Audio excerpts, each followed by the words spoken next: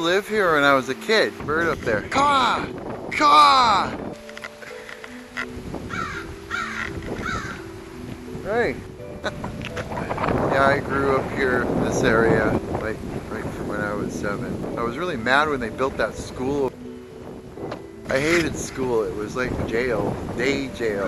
And I didn't want to be reminded every day when I looked out the window on the weekend when I was away from day jail that there was another day jail and it reminded me I had to go back to day jail. it's like they changed things. Like, what a neat little spot actually. I think it'd be kind of interesting to rip around there. There's a lot of stuff. Check that out. Holy smokes. Oh, there's a canoe. I don't know. I think my quad would last all of like one or two batteries and I'd end up destroying it through here, but it's so cool. Like,